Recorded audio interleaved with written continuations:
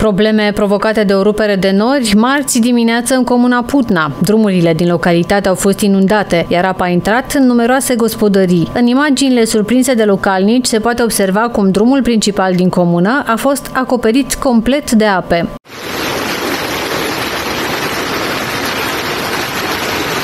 Șase echipaje de pompieri militari au intervenit cu motopompe pentru evacuarea apei din gospodării. Tot marți dimineață, pompierii au fost solicitați pentru evacuarea apei în gospodării din localitățile Vatra Dornei, Câmpul Lung Moldovenesc, Gura Humorului și Brodina. În noaptea precedentă, pompierii au intervenit pentru evacuarea apei din gospodării și garaje din Fălticeni, Suceava, Vatra Dornei, Câmpul Lung Moldovenesc și Gura Humorului. La Valea Putnei, 43 de gospodării au rămas fără energie electrică după avarii produse la două posturi de transformare. Inspectoratul General pentru Situații de Urgență a dispus sprijinirea județului Suceava cu echipaje de pompieri de la unitățile din Sălaj, Vaslui și Ilfov. Județul Suceava s-a aflat sub atenționare cod roșu de inundații în bazinele superioare ale râurilor Bistița, Moldova, Suceava și Siret. Luni după amiază, începând cu ora 18, a fost activat Centrul Județean pentru coordonarea și conducerea intervenției în formulă completă și a fost instituită permanența la sediul Prefecturii Suceava și primăriilor din județ.